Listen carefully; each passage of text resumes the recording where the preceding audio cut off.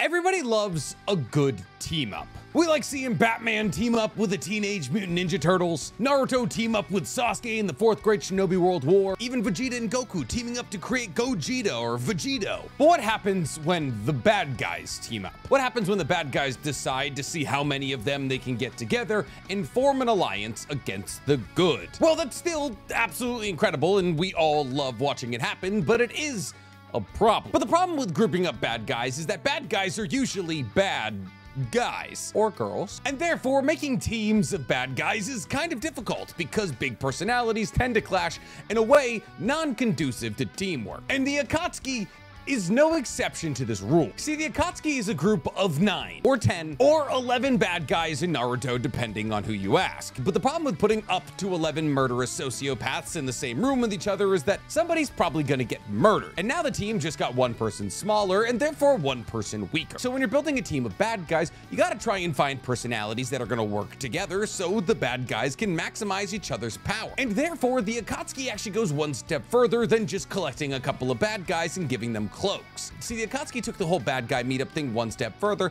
by splitting all of these bad guys into two-man teams, of which there's five. Kind of. And all of these two-man teams are made with the personalities and abilities of the people in the two-man teams in mind. At least, that's what they say. Because I would argue that the two-man teams of the Akatsuki, while they do line up personality-wise, do not line up power-wise. In fact, I would even take it one step further and say that the abilities of most of the two-man teams in the Akatsuki tend to contradict each other, and that the two-man teams that were selected in the Akatsuki might have actually been one of the biggest reasons the Akatsuki had a downfall in the first place. Because obviously, every single member of the Akatsuki is killed. But if every single member of the Akatsuki was placed with somebody who could maximize their potential, I'd argue they'd still be kicking. Which obviously wouldn't be good for the plot of Naruto, but it would be good for the Akatsuki. And in today's video, we're not worried about the plot of Naruto, which is why today we're talking how I would fix the Akatsuki team specifically to be as balanced, broken, and long-lasting as possible, and therefore probably win in the battle against all of the major villages and enact the Eye of the Moon plan. But it's not my world, so I'm not worried. But before we get to balancing or breaking anything, guys, please, for me, like this video, subscribe to the page, hit that noti bell. And if you like the idea of me remixing anime, you're gonna love my other channel, The Weeb Commander, where instead of talking about Naruto or Boruto, I talk all other anime. And if you just like the idea of me talking about anime, you're gonna love my anime podcast, Otaku's Anonymous, where me and Danny Mata break down everything that happened in anime this week. It's available on YouTube, Spotify, and Apple Podcasts. So the Akatsuki, one of the most iconic villain groups, if not just anime groups in history. Whether it be the cloaks, the members, the deaths, or the rings, everything about this group is iconic. And quite honestly, I'm not gonna sit here and complain about the teams on the Akatsuki. In fact, I would argue the teams of the Akatsuki are substantially better than any other team grouping in all of Naruto, being leagues better than something like the Konoha 13's teams. Now this makes sense, because all of the members of the Akatsuki came to the Akatsuki while they were fully formed adults, with all of their moves already learned. On top of this, they had already developed their personalities, therefore pretty much everything you needed to take into account about a human being before signing them up to be with another human being 24-7,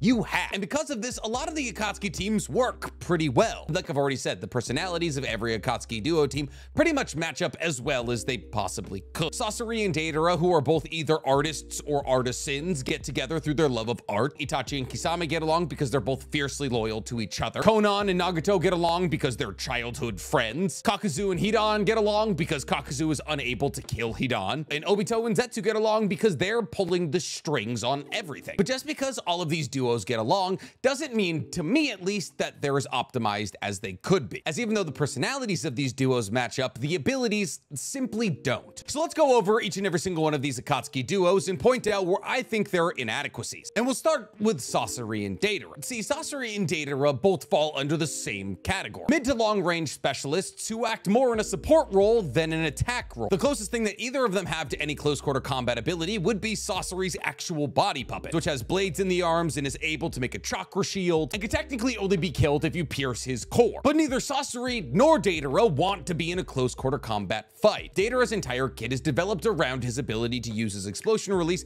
along with his chakra kneaded clay, and thus Deidara ideally is flying on the back of either a C2 dragon or an explosive clay bird while throwing explosives at you. And somewhat unfortunately, Sasori's kit is very similar. Just replace the explosive clay with puppets. As Sasori's body is obviously within a puppet, and then his body is an actual puppet, which allows Sasori to be as close to his puppets as any puppet master ever. But still, when it comes down to it, Sasori doesn't want to be battling you in hand-to-hand -hand combat. In fact, the development of the puppet technique was made so Hidden Sand Ninja wouldn't be face-to-face -face with the enemy. Now, obviously, hypothetically, Deidara and Sasori can fly around on one of Deidara's birds, and Sasori can control a puppet from a distance, but this would be inconsistent at best, as the chakra strings would just rip the puppet around. And it's not like Deidara can offer Sasori aerial support. Let's say Sasori pulls out all 300 of his puppets and he's battling against the likes of Great Uchiha. How exactly can Deidara support Sasori in this battle? If Deidara uses explosives, they have as much chance to hurt Sakura as they do Sasori's puppets. And now we just have explosions from Deidara's explosion release destroying all of Sasori's chakra strings. And while obviously the destruction of a puppet isn't as bad bad as the destruction of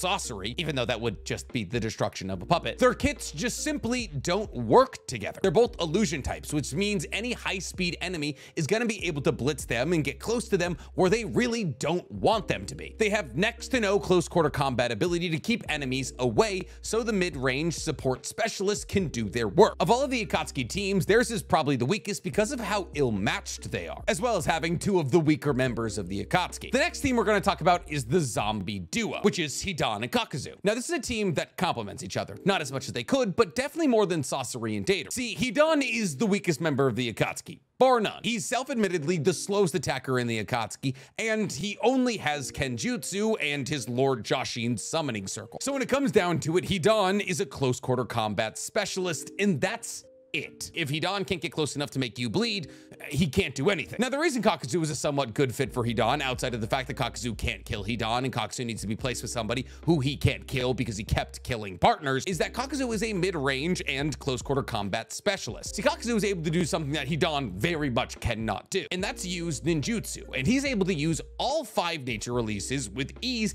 and at a very high level. In fact, Kakuzu is able to split himself into five entities that are able to control one elemental release. By separating the four masks from his back, each of which has a heart of their own. Kakuzu can essentially create four incredibly powerful clones that control water, wind, lightning, and fire release, with his main body controlling earth. And all five of these bodies have incredibly powerful AoE attacks that operate on a close to mid-range level. And Kakuzu is also incredible at taijutsu. And not to mention, with the use of his Earth Grudge Fear, he's able to snag enemies and hold them still. And if he can keep enemies still, Hidan can get their blood and then GG's. So the zombie duo, as much as they hate each other, actually is a pretty good duo. But they could be better. The third duo is even better than the zombie duo, but once again, not perfect. The third duo that we're going to talk about is Kisame and Itachi. Now, this is another duo that complement each other. Kisame is a close quarter combat slash mid-range specialist. He wants to be up close and personal against you to use Samehada to tear through your flesh and therefore seep out your chakra. But he also has an incredibly wide and strong arsenal of water ninjutsu that he can use against you in the mid-range. Now, I wouldn't call Itachi a close quarter specialist, though his taijutsu is incredible. I mean, Edo Tensei Itachi threw hands with KCM1 Naruto. I would say Itachi falls more into the classification of mid-range slash support. On top of that, with the usage of his Susanoo, he could also fall under the defense category, as not only is the Susanoo basically impenetrable, but his Yata Mirror reflects all ninjutsu. Now, this is a duo whose abilities can complement each other, though Itachi's abilities don't really need much in the way of complementing. See, basically everything that Itachi wields is a one-hit kill. Tsukiyomi Amaterasu is Totsuka Blade, with Itachi's only real weakness being that his Susanoo is incomplete and therefore it can't fly. So in an ideal world, Itachi has a teammate who's able to funnel people towards it, which I guess with the usage of high-level water ninjutsu, Kisame could do. But there's a huge dichotomy between these two characters that I actually believe makes them bad teammates. See, Kisame's entire kit is actually built around a long fight. See, Samehada is not the kind of sword that can cut you in half in one swing. I mean, it could cut me in half in one swing, but I'm not a ninja. A fight against Kisame while he's wielding Samehada is actually just him trying to cut you a couple of times and siphon off all your chakra. And therefore, Kisame is more of a long fighter. However, Itachi is the exact opposite. Itachi tries to end the fight as fast as he possibly can, be it through Tsukiyomi, Amaterasu, or the Totsuka blade. And this is because Itachi runs out of chakra incredibly quickly, while Kisame is considered the tailless tailed beast. Because of this difference in their fighting style, both of them are at very different parts of their fight if they're fighting simultaneously. And in an ideal circumstance, Itachi has somebody with a transport ability who can move him if he ever overextends his chakra. So even though their abilities do complement each other's a little bit, and personality-wise, these two probably click more than any other duo in the Akatsuki, there are some definite points where these two could be substantially better matched to each other. The next duo we're going to talk about is Nagato and Konan. Nagato is a genuine all-arounder. There's nothing he cannot and will not do. That's just the Rinnegan for you. He has the ability to track and sense chakra. He has the ability to heal his six paths of pain. He has the ability to absorb ninjutsu. The Devapath was able to square up with Naruto in his six tails form. He's a close quarter combat, mid-range, long-range, support, defense, healer, everything you could ever want in a person. So matching him up with somebody isn't hard because he basically covers all of the bases by himself. So is Konan a good match for Nagato? Yeah, like I said, he would be well matched with anybody. But Konan herself is a mid-range specialist and probably has the highest battle IQ in the Akatsuki outside of Itachi. So she would also be well suited with a lot of people. And I think honestly, she would be better suited in other teams that allowed her to shine more. Now, obviously she's fiercely loyal to Nagato and hates leaving his side. And there's probably nobody in the Akatsuki who would take protecting Nagato's body as seriously as her. I still think Nagato and Konan would be better if split up. And our last team is Toby and Zetsu. This team is meh. Toby isn't even always teamed up with Zetsu. Zetsu is obviously incredibly powerful. He punched a hole in Madara like Madara was a free coffee punch card. And Toby is Obito, who was also just like Nagato, a complete and utter all-arounder. Well, obviously Zetsu falls more into the support slash IQ role, as Zetsu probably has the highest IQ out of anybody in the Akatsuki. But Zetsu is boring to talk about, so when we're building these new Akatsuki teams, I'm gonna replace him with a former member of the Akatsuki, Orochimaru, because he's way more interesting to me. Oh, you don't like that? I don't care, it's my video. And just like that, we've covered all five of the Akatsuki duos, what their roles are in their specific teams, how they feed off of each other, and how they're holding each other back. So how would I fix these duos? Well, I would focus way less on personality and way more on combat ability. Sure, there's a possibility that these two team members kill each other, but there's also the possibility that they get along. And we learned from Akatsuki Hiden, even though each and every single one of them are terrible, they do have the ability to relate to other people, even Hidan, which is why first off, I'm breaking up the zombie duo and I'm placing Hidan with Sasori. See, the biggest thing that Sasori's duo needed was a close quarter combat specialist. And that could have been Kisame, Kakuzu, Hidan, and a couple of other people, but most definitely not Deidara. Now, the reason I chose Hidan is because Hidan, more than any of the other close quarter combat specialists in the Akatsuki, is straightforward. But the problem with Hidan's straightforwardness is because all he has is his Kenjutsu and no ninjutsus to back himself up, he's kind of easy to avoid. I mean, he's a guy with a scythe running at you. As long as you stay away from him, you're gonna be okay. But what happens if you lose sight of the man with the scythe? That's when he gets dangerous. See, for Hidan, the element of surprise is massive. If you slip up for even a second in a battle against Hidan and lose track of where he is, all he needs is the tiniest amount of your blood and you're dead. But the crazy bit is, it doesn't have to be Hidan who gets your blood. It could be anybody who gets your blood, so long as your blood gets to Hidan. So I can't imagine a better place for a man who thrives on the element of surprise than being lost in the commotion of a 300 puppet army. I mean, Think about it. All Hidan would truly have to do is blend into Sasori's puppet army. And while this onslaught of puppets is attacking the opponent, Hidan can sneak up behind them, slash them, get their blood, and then pierce his heart. Easy as that. Getting lost in the commotion of 300 clattering puppets, some of which are able to do things like magnet release, would not only allow Hidan to maximize his own potential, but also give Hidan the possible ability to just take the blood off of one of Sasori's puppets and then use that for a ritual. A ritual you probably wouldn't be able to stop Hidan from doing, mind you, because Sasori could just keep you away from him until the ritual was done. Because after Hidan gets your blood, it's not like you're necessarily dead. So long as you stop him from drawing the circle and stabbing his heart, you're good. And even though Kakuzu obviously has Earth Grudge Fear, which he can use to hold somebody still, Sasori has Iron Sand Magnet Release, which he could definitely use to hold somebody still. Not to mention, since Hidan is technically the slowest attacker out of the Akatsuki, Sasori could simply attach his puppet strings to Hidan to speed him up. Much in the same way we saw Granny Chiyo control Sakura. This would not only probably increase the speed of Hidan, but also allow him to react to things that otherwise he wouldn't see. And if you thought fighting against 300 puppets simultaneously was tough, imagine now that if any of those puppets get a drop of your blood, you die. That is substantially more powerful than just a man flying above the puppets throwing bombs at you. But what about that man who flies and throws bombs? Who does he end up with? Well, ironically, he would end up with the other half of the zombie duo, Kakuzu, because my second duo would be Kakuzu and Deidara. Now, let's assume they get along here, because obviously Kakuzu has to be placed with people he can't kill, and Kakuzu could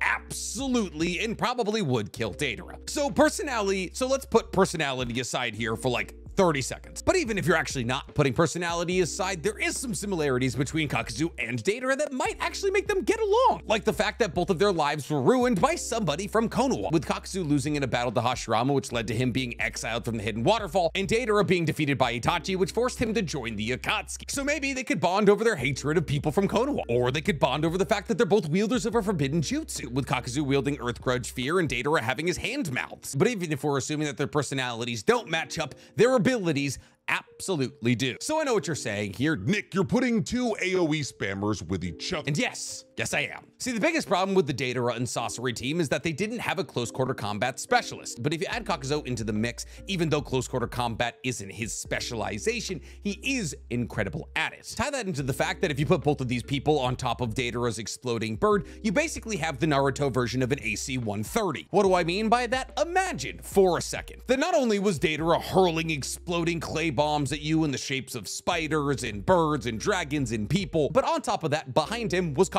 Firing off every kind of elemental release there is. Be they lightning, fire, water, earth, or wind, everything is flying at you. So now not only do you have to avoid the explosions from Deidara, you have to avoid the ninjutsu from Kakuzu. And it's all happening from a couple hundred meters in the sky, and there's nothing you can do about it unless you fly or have long range options. It's basically like having Chopper Gunner on Rust you're gonna rack up some kills. But even if you're worried about people screaming about how you're hacking up in the air, you could just put Kakuzu on the ground and you could put Deidara in the sky. And Kakuzu could spam his AoE attacks from the ground while Deidara spammed his AoE attacks from the sky. And considering the fact that Kakuzu has five hearts, Deidara probably wouldn't have to be worried about possibly hurting Kakuzu, as any explosive damage to Kakuzu probably wouldn't even hurt him in the first place because his body is made out of fibers. And even if hypothetically Deidara does hurt Kakuzu, he can just replace one of his masks with the heart of whoever they just killed. And if by some chance somebody manages to close the distance between the explosions and elemental release, Kakuzu can just battle them in hand-to-hand -hand combat. It would be an absolute and utter nightmare to battle against these two simultaneously. With the only real problem being that Kakuzu would have to worry about hitting Deidara's explosive clay with lightning release. But there's no stipulation that Kakuzu has to control all elemental releases with every single one of his masks. The reason he did that is so we can combine certain elemental releases to make them stronger. He could just pick up like a second fire mask or a second second wind mask, because the mask represent the ninjutsu prowess of the person that the heart was taken from. After Kakuzu and Deidara, I would have Nagato and Orochimaru. I know, they wouldn't get along. The second that Nagato phased out while controlling all six paths of pain, Orochimaru would bite him and be like, your body's mine now, because Orochimaru would want the Rinnegan, but then again, maybe he wouldn't want Nagato's body, because I mean, he was in the Akatsuki and he never tried Nagato. And if we're being real, that kind of makes sense because Nagato's body is like nailed into the Gedo statue. So like, I wouldn't want that body either. Orochimaru would probably just pluck out his Rinnegan and run away really fast. He's definitely not going to be as concerned for protecting Nagato's body as Konan is. But once again, perfect worlds here, okay? Stick with me. Nagato and Orochimaru are the puppet crew, and not actual ninja puppets. See, obviously, we all know that Nagato controls the six paths of pain, with each one being a manifestation of one of the six base powers of the Rinnegan. And that alone is one of the most powerful jutsus in the entirety of Naruto. You know who else wields one of the most powerful jutsus in the entirety of Naruto? Orochimaru. So how would Orochimaru join this puppet crew?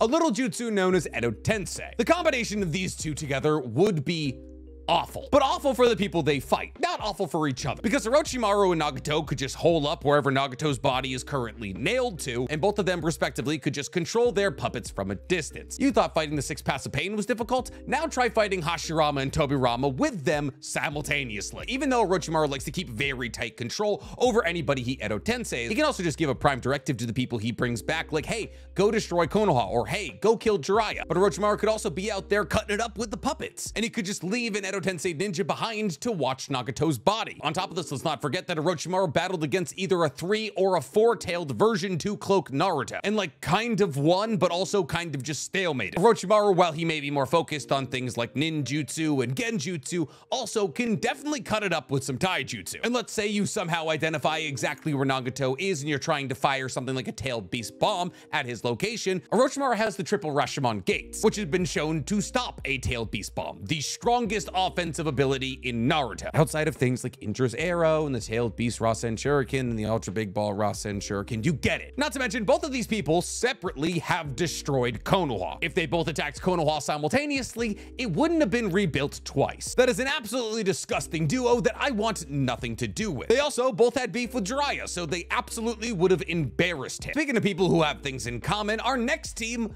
would be Itachi and Obito. I know, I know, Nick, you're making a lot of top heavy teams here, but the way I'm building it, all of these teams are gonna be very powerful anyways. So why am I placing Itachi and Obito together? Is it because they've worked together previously during the Uchiha massacre? I mean, well, that doesn't hurt. They have a track record of working together successfully. I mean, all of the Uchiha are dead. But Nick, they don't like each other. I mean, they don't hate each other. I mean, obviously Obito was like vaguely aware of Itachi joining the Akatsuki in order to spy on the Akatsuki. And obviously Itachi was there mostly to spy on Obito for the Hidden Leaf. But let's not sit here and act like Itachi wasn't doing the Akatsuki's bidding in order to keep his cover. My man really kept that cover. He killed hundreds of people. At what point is the intel no longer worth it? When it comes down to it, these two working together would be absolutely terrifying. They're kind of the defense duo, because Itachi has an impenetrable defense in his Susanoo and his Yata Mirror, and Obito obviously has his Kamui, making him borderline impossible to hit. Not to mention, as they're both Uchihas, they understand each other's move sets. And if Itachi ever overexerts himself, like in his battle against Yagura, Obito can take them away using Kamui. Can either simply place Itachi in the Kamui dimension until he recovers, or just Kamui them away to safety. On top of this, Obito has the ability to spiralize his Great Fireball technique, which makes it more powerful through the usage of his combo, which means hypothetically Obito could do this, but to Itachi's Amaterasu. On top of this, since Obito can basically avoid whatever he needs to,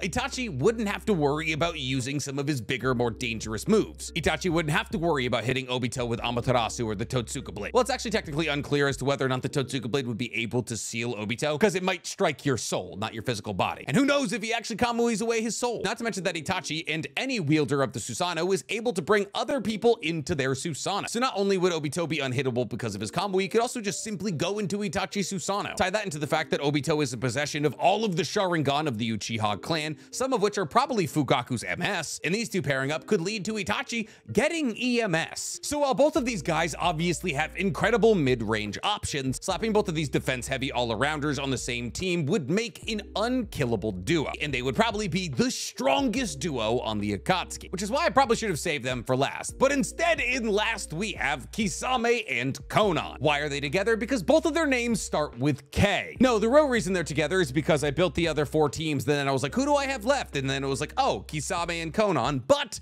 Ironically, they work together really well. Why do they work together very well? Because for the first time on this list, personality-wise, they line up perfectly. Kisame and Konan are two of the most loyal people, not just in the Akatsuki, but possibly in anime history. Kisame loves Itachi, like a brother, and would do anything to protect Itachi. He is that close and that loyal to him. And Konan is incredibly loyal to Nagato, so much so that she leads the Hidden Rain for him while Nagato is away doing Akatsuki thing for years. She stands by Nagato's side every time he uses the six pass of pain so she can protect his body. She took his whole body back to the Hidden Rain and protected his Rinnegan with her life. These two have put on a team with each other would be fiercely loyal to each other. On top of that, both of them aren't the biggest fans of the Akatsuki. In fact, I would say these two are probably the least happy to be on the Akatsuki out of anybody in the Akatsuki, outside of like maybe Deidara. It's not like either of them were going to leave the Akatsuki, it's just both of them didn't really have a strong reason to be there. And on top of all of this, their abilities complement each other incredibly well. Kisame is a close quarter combat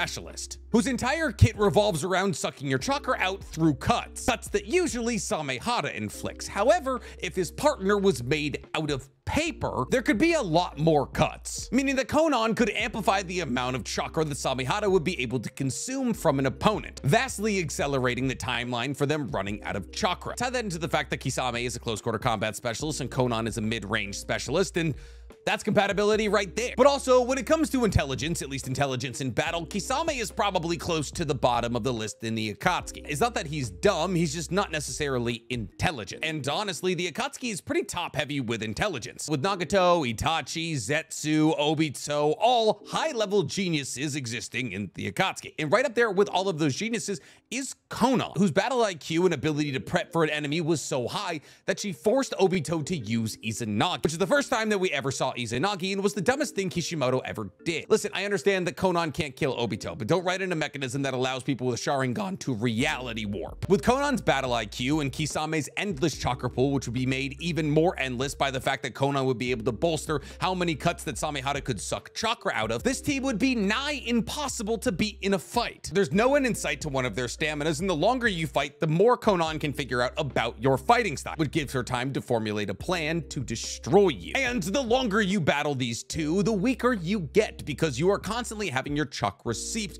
into the guy with an endless amount of chakra. And if you try to get close to Konan, Kisame will stop you. The only real problem with these two working together is the fact that Konan uses a bunch of paper bombs and Kisame uses a bunch of water ninjutsu. But considering the fact that Konan split an ocean with paper bombs and also hails from the land hidden in the rain. Water in water ninjutsu has never really appeared to be an issue for paper bombs. And thus, even though these two were slapped together because they hadn't been placed on any other teams, they ironically probably work better as a duo than anybody else on this list. Though they obviously wouldn't be as powerful as Obito and Itachi. We all know this. But yeah, that's it. That's how I would fix the Akatsuki teams. Would you guys have chosen differently? Who would you have put with who? Tell me in the comments below. And while you guys are down there, please, for me, like this video, subscribe to the page, and hit that noti bell. Listen, I'll admit putting two of the strongest people in the Akatsuki together doesn't exactly balance all of the teams, but listen, their abilities are compatible.